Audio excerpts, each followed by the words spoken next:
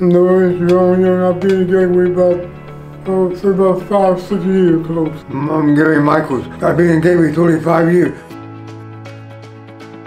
Teamwork. It's all about teamwork. I like all the staff, They'll make all of us feel special. everything I like about Gateway. We help them, they help us. Yeah, well, the whole staff and all us, all get along and socialize.